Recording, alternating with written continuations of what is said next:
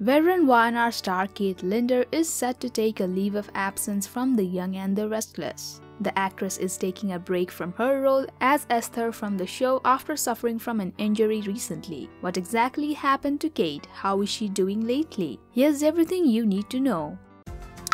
Hey everyone, welcome to Trend Street.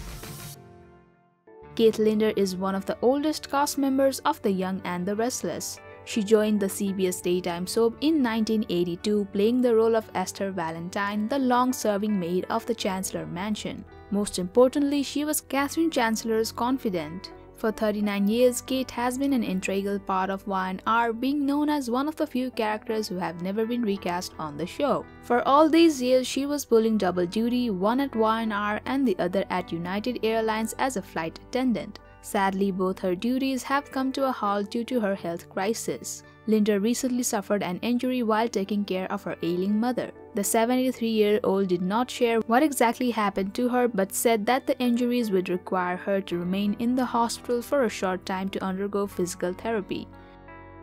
I am so grateful to my incredible doctors, nurses, and physical therapists for taking such good care of me, Linder said in a statement. I want to thank my mom, my friends, and my Y&R family for their outpouring of good wishes and support, she added. So far, Kate has not disclosed exactly how long she will stay in the hospital or how long she will stay away from work after returning from the hospital. We only know that she will be back at work once she is completely fine. We'd like to wish Kate a quick recovery from her injuries and hope to see her back in action on Y&R soon. Thank you for checking this video out. Don't forget to hit that like button and subscribe to our channel for new videos every day. Turn that bell notification on if you want to hear from us and comment down below if you've subscribed and we'll make sure to reply and thank as many of you as we possibly can.